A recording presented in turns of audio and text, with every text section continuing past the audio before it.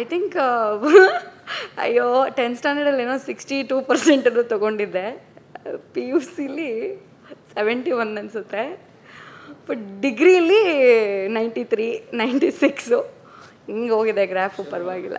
ಹಿಂಗೆ ಹೋಗಿದೆ share market ಥರ ಅಂದರೆ ತುಂಬ ಆಕ್ಸಿಡೆಂಟಲ್ ನಾನು ಒಂದು ಒಂದು ಮದುವೆಯಲ್ಲಿ ನನ್ನನ್ನು ಒಂದು ಪ್ರೊಡ್ಯೂಸರ್ ನೋಡಿದ್ರು ಫಸ್ಟ್ ಟೈಮ್ ಇವ್ರಿಗೆ ಆ್ಯಕ್ಟಿಂಗ್ ಎಲ್ಲ ಮಾಡೋಕ್ಕೆ ಇಂಟ್ರೆಸ್ಟ್ ಇದೆಯಾ ಅಂತ. ನಾನು ನಾನು ನ್ಯಾಚುರಲಿನೇ ಒಂಥರ ನಾನು ಮಾತಾಡೋದೆಲ್ಲ ಒಂದು ಸ್ವಲ್ಪ ಆ್ಯಕ್ಟಿಂಗ್ ಮಾಡೋ ಥರನೇ ಇರುತ್ತೆ. ನಾನು ತುಂಬ ತುಂಬ ಆ್ಯಕ್ಟಿವ್ ಆಗಿರ್ತೀನಿ. ನನಗೆ ನನ್ನ ಫ್ರೆಂಡ್ಸ್ ಎಲ್ಲ ಹೇಳೋನು ಒಂದು ಲೈನಿಗೆ ಇಷ್ಟು ಎಕ್ಸ್ಪ್ರೆಷನ್ ಕೊಡ್ತೀಯ ನೀನು? ಕರೆಕ್ಟಾಗಿ ಮಾತಾಡೋಕ್ಕೆ ಬರಲ್ಲ ನನಗೆ. ಅಂತ ನಂತರ ಕೈಕಾಲೆಲ್ಲ ಆಡಿಸ್ಕೊಂಡು ಫುಲ್ ಆ್ಯಕ್ಟಿವ್ ಆಗಿದ್ದೆ. ಅದನ್ನು ನೋಡಿಕೊಂಡು ಒಬ್ಬರು ಪ್ರೊಡ್ಯೂಸರ್ ನನಗೆ, ನೀವು ಸಿನಿಮಾ ಮಾಡಬೇಕು. ನೀವು ಚೆನ್ನಾಗಿ ಆ್ಯಕ್ಟ್ ಮಾಡ್ತೀರಾ? ಅಂತ.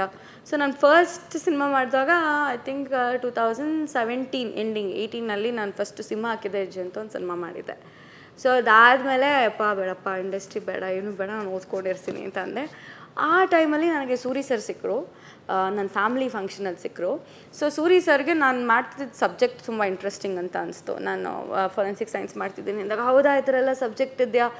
ನಾನು ಒಂದು ಸ್ವಲ್ಪ ಬ್ಲಡ್ ಶೀಟ್ ಸಿನಿಮಾಗಳೇ ಮಾಡೋದು. ನನಗೇನಾದರೂ ಇನ್ಪುಟ್ ಕೇಳಿದ್ರೆ ನೀನು ಕೊಡ್ತೀಯಾ? ಅಂತಂದ್ರು. ಹ್ಞೂ ಸರ್, ಖಂಡಿತ ಕೊಡ್ತೀನಿ ಅಂತಂದೆ. ಬಟ್ ನಾನು ಅವ್ರಿಗೆ ಅವತ್ತು ನಾನು ಆ್ಯಕ್ಟರ್ ಅಂತ ಹೇಳಿರಲಿಲ್ಲ. ಸೊ ನನ್ನ ನನ್ನ ರಿಲೇಟಿವ್ ಅಂದರು ಗೊತ್ತಾ ಅವಳು ಸಿನಿಮಾ ಎಲ್ಲ ಮಾಡಿದ್ದಾಳೆ ಅಂತ.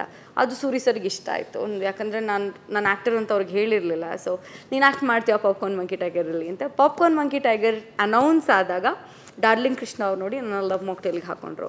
ಅದು, ಆ ಅನೌನ್ಸ್ಮೆಂಟ್ ಟೈಮಲ್ಲಿ ಸೊ ಹಾಗೆ ಇದು last cinema last cinema last cinema ಅಂತ ಅಂದ್ಬಿಟ್ಟು ಈಗ ಆಲ್ಮೋಸ್ಟ್ ಒಂದು ಹತ್ತು, ಹನ್ನೊಂದು ಸಿನಿಮಾ ಮಾಡಿದೆ. ನನಗೆ ಅಪ್ಪು ಸರ್ ಜೊತೆ ಆ್ಯಕ್ಟ್ ಮಾಡಬೇಕಂತ ತುಂಬಾ ಆಸೆ ಇತ್ತು. ಐ ಥಿಂಕ್ ಇದು ನನ್ನ ನನ್ನ ಒಬ್ಳದೇ ಆಸೆ ಆಗಲ್ಲ.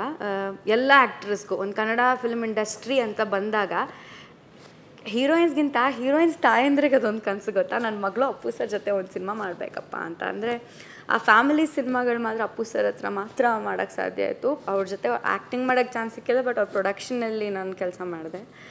ಫ್ಯಾಮಿಲಿ ಪ್ಯಾಕ್ ಅಂತ. ಸೊ ಈವನ್ ಟುಡೇ ಆ ಆ ಜಾಗ ಎಲ್ಲೋ ಅದು ಒಂದು ನನಗೆ ಇನ್ನೂ ಕಾಡುತ್ತೆ, ಅವ್ರ ಜೊತೆ ಸ್ಕ್ರೀನ್ ಶೇರ್ ಮಾಡಿಲ್ವಲ್ಲ ಅನ್ನೋದು ಒಂದು ದಟ್ಸ್ ಆಲ್ವೇಸ್ ದೇರ್ ಆ್ಯಂಡ್ ಅದೊಂದೇ ನನಗೆ ಆಸೆ ಇದ್ದಿದ್ದು. ಅವ್ರೊಬ್ಬರ ಜೊತೆ ನಾನು ಆ್ಯಕ್ಟ್ ಮಾಡಬೇಕು ಅಂತ. ಅದು ಬಿಟ್ಟರೆ ಒಳ್ಳೆ ನಿರ್ದೇಶಕರು, ಒಳ್ಳೆ ನಟರು ಯಾರು ಸಿಕ್ಕಿದ್ರು ಮಾಡೋಕ್ಕೆ ಇಷ್ಟ. ಫೇವ್ರೆಟ್ ಆ್ಯಕ್ಟ್ರೆಸ್ ರಮ್ಯಾ ಅವರು. ಸಿಕ್ಕಾವಡೆ ಇಷ್ಟ ನನಗೆ ರಮ್ಯಾ ಅವರು ಆ್ಯಂಡ್ ಲಕ್ಷ್ಮಿ ಅಮ್ಮ ತುಂಬ ಇಷ್ಟ. ಏ, ಎಲ್ಲ ಕರೀತೀನಿ ಅವ್ರ ಹತ್ರ. ಅವ್ರ ಸಿಂಪ್ಲಿಸಿಟಿ ನಂಗೆ ತುಂಬ ಇಷ್ಟ. ಅಂದರೆ ಎಲ್ಲ ಎಲ್ಲ ಆ್ಯಕ್ಟ್ರೆಸ್ಗೂ ಅದೊಂದು ಕನಸು. ಇಷ್ಟು ಗ್ಯಾಪ್ ಕೊಟ್ಟು ಅವರು ಸಿನಿಮಾದಲ್ಲಿ ಇಷ್ಟು ಗ್ಯಾಪ್ ಕೊಟ್ಟು ವಾಪಸ್ ಬರ್ತೀನಿ ಅಂತಂದ್ರು ಜನಕ್ಕೆ ಇನ್ನೂ ಆ ವೆಯ್ಟಿಂಗ್ ಇದೆಯಲ್ಲ ಮೇಡಮ್ ಯಾವಾಗ ಬರ್ತೀರಾ? ಯಾವಾಗ ಸ್ಕ್ರೀನ್ ಮೇಲೆ ಕಾಣಿಸ್ಕೊತೀರ? ಅದು ಒಂದೇ ಒಂದು ಪೋಸ್ಟ್ ಸೋಷಿಯಲ್ ಮೀಡಿಯಾಗೆ ಜನ ಕಾಯ್ತಾರಲ್ಲ. ಸೊ ಅದೆಲ್ಲ ಆ ಆ ಅಗತ್ತು ಗತ್ತು, ಆ ಚಾಮು, ಆ ಸಿಂಪ್ಲಿಸಿಟಿ ಕದಿಯೋಕ್ಕೆ ಇಷ್ಟಪಡ್ತೀನಿ. ಐ ಥಿಂಕ್ ಎಲ್ಲ ಬೇಕು ಅವರಿಂದ ನನಗೆ. ಇಲ್ಲ, ನನಗೆ ಜಗತ್ತಲ್ಲಿ ಅಷ್ಟು ಫ್ರಸ್ಟ್ರೇಟಿಂಗ್ ಇರುತ್ತೆ ಲವ್ ಅಂತಲೇ ಗೊತ್ತಿರಲಿಲ್ಲ ಬಿಕಾಸ್ ಆ ಕ್ಯಾರೆಕ್ಟ್ರು ಕನೆಕ್ಟ್ ಆಗುತ್ತೆ ಅಂತಂದರೆ ಎಷ್ಟು ಫ್ರಸ್ಟ್ರೇಟಿಂಗ್ ಲವ್ ಸ್ಟೋರೀಸ್ ಇದೆ ಈ ಜನ್ರೇಷನಲ್ಲಿ ಅಂತ ಅನಿಸ್ತು. ಬಿಕಾಸ್ ನಾನು ಸಿನಿಮಾ ಮಾಡಿದಾಗ ನಂಗೆ ಆ್ಯಕ್ಚುಲಿ ಅದಷ್ಟು ಇಂಟೆನ್ಸ್ ಕ್ಯಾರೆಕ್ಟ್ರ್ ಅಂತ ಗೊತ್ತಿರಲಿಲ್ಲ. ನಾನು ಸುಮ್ಮನೆ ಮಾಡ್ತಾ ಹೋದೆ ಡಾರ್ಲಿಂಗ್ ಕೃಷ್ಣ ಅವ್ರು ಹಿಂಗೆ ಹಿಂಗೆ ಹಿಂಗೆ ಹಿಂಗೆ ಕೆಲ್, ಕೆಲವೊಂದು ರಿಯಲ್ ಇನ್ಸಿಡೆಂಟ್ಗಳನ್ನ ತೊಗೊಂಡು ಹೇಳ್ತಿದ್ರು, ಇಲ್ಲ ನೀನು ಹಿಂಗೆ ಎಸಿಬೇಕು ನನಗೆ ಹೆಂಗೆ. ನಾನು ಅಂದರೆ ಹಿಂಗೆಲ್ಲ ಎಸಿದ್ರೆ ಹೆಂಗೆ ಅಂತ, ನೀನು ಒಂದು ಚಾಕ್ಲೇಟ್ ಎಸಿದ್ರೆ ಆಡಿಯನ್ಸ್ ಮುಖದ ಮೇಲೆ ಬೀಳ್ಬೇಕು, ಹಂಗೆ ಎಸಿಬೇಕು ನೀನು ನನ್ನ ಚಾಕ್ಲೇಟ್ ನನ್ನ ಮೇಲೆ ಅಂತ. ನಾನು ಅಷ್ಟು ಇಂಟೆನ್ಸ್ ಹಂಗೆ ಮಾಡಿದೆ. ಸಿನಿಮಾ ಎಲ್ಲ ನೋಡಾದ್ಮೇಲೆ ನಾನು, ಅಯ್ಯೋ ನಾವು ಅಮ್ಮಂಗೆ ಕಾಲ್ ಮಾಡ್ಬಿಟ್ಟು ಫುಲ್ ಅಳ್ತಾ ಇದ್ದೀನಿ. ಅಮ್ಮ, ನಾನು ವಿಲನ್ ಹೋಗ್ತೀನಿ, ನಾನು ಹೀರೋಯಿನ್ ಆಗಕ್ಕೆ ಬಂದಿದ್ದು, ನಾನು ವಿಲನ್ ಹೋಗ್ತೀನಿ ಅಂತ ರಾತ್ರಿ ಎಲ್ಲ ಅಳ್ತಾ ಇದ್ದೆ ನಮ್ಮ ಅಮ್ಮಂಗೆ ಫೋನ್ ಮಾಡಿಬಿಟ್ಟು. ಆದರೆ ತುಂಬ ಸರ್ಪ್ರೈಸಿಂಗ್ ಸಿನಿಮಾ ಆಗಿದ್ದು ಫಸ್ಟ್ ಡೇ ಫಸ್ಟ್ ಶೋ ನೋಡಿದೆ. ಹೌಸ್ಫುಲ್ ಆಗಿದೆ. ಫಸ್ಟ್ ಆಫ್ ಆಗ್ತಿದ್ದಂಗೆ ಜನ ಜೋ ಅಂತೆಲ್ಲ ಕಿರಿಯಕ್ಕೆ ಕರೆಯೋಕ್ಕೆ ಶುರು ಮಾಡಿಬಿಟ್ರು. ನಂಗೆ ಸಖತ್ ಖುಷಿ ಆಯಿತು. ಅಂದರೆ ಒಂದು ಕ್ಯಾರೆಕ್ಟ್ರನ್ನ ಒಂದು ಕ್ಯಾರೆಕ್ಟ್ರಾಗಿ ತೊಗೊಂಡು ತುಂಬ ಅದ್ಭುತವಾಗಿ ನನಗೆ ರಿಸೀವ್ ಮಾಡಿದ್ರು. I think hats off to darling Krishna because ಅದೊಂದು ಸೆನ್ಸಿಟಿವಿಟಿ, ಅದೊಂದು ಇನ್ನಸೆನ್ಸ್, ಅದೊಂದು ಇಮೋಷನ್ ಎಲ್ಲ ರೈಟರ್ಸ್ ಮೇಲೆ ಇರುತ್ತೆ. ಅದನ್ನು ತುಂಬ ಒಳ್ಳೆ ರೈಟಿಂಗ್ ಮಾಡಿದರು. ಆ್ಯಂಡ್ ಅದು ನನ್ನ ಸ್ಟೆಪ್ಪಿಂಗ್ ಸ್ಟೋನ್ ಅಂತಲೇ ಹೇಳ್ಬೋದು. ರಿಯಾಕ್ಷನ್ಸ್ ಅಂತೂ ತುಂಬ ಕೆಟ್ಟದಾಗಿ ಬರೋದು ನನಗೆ.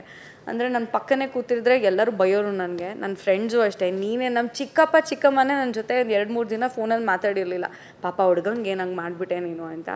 ಸೊ ನಮ್ಮ ಮನೆಯವ್ರಿಗೇನೆ ಆ ಥರ ಅನಿಸಿತ್ತು. ಆಮೇಲೆ ಈ ರೌಂಡ್ಸ್ ಎಲ್ಲ ಹೋಗ್ತಾ ಇದ್ವಿ ಥಿಯೇಟ್ರ್ ವಿಸಿಟ್ಟು ಅವಾಗೆಲ್ಲ ಹುಡುಗಿರು, ಯಪ್ಪ ನನ್ನ boyfriend ex boy girlfriend ನಿಮ್ಮ ಥರನೇ ಇದ್ಲು ನಿಮ್ಮನ್ನೋರು ತಳ್ಬಿಡ್ಬೇಕು ಅನ್ಸುತ್ತೆ. ಅದೇನು ಹಿಂಗೆ, ಹಂಗೆ ಹಂಗೆ ಅಂತ ಕೆಟ್ಟ ಕೆಟ್ಟದಾಗೆಲ್ಲ ಬೈದಿದ್ದಾರೆ ಕಮೆಂಟ್ಸಲ್ಲೂ ಬೈದಿದ್ದಾರೆ ಇವಾಗ್ಲೂ ಅಷ್ಟೇ.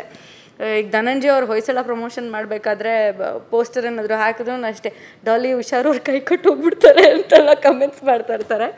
So I think it's a wonderful character and ಆ ಕ್ಯಾರೆಕ್ಟರ್ ನಾನು ಇಷ್ಟೇ ಸಿನಿಮಾ ಮಾಡಿದ್ರು ಲೀಡಾಗೆ ಜೋ ಅನ್ನೋ ಹೆಸರು ಇನ್ನೂ ಚೆನ್ನಾಗಿ ಕರೀತಾರೆ.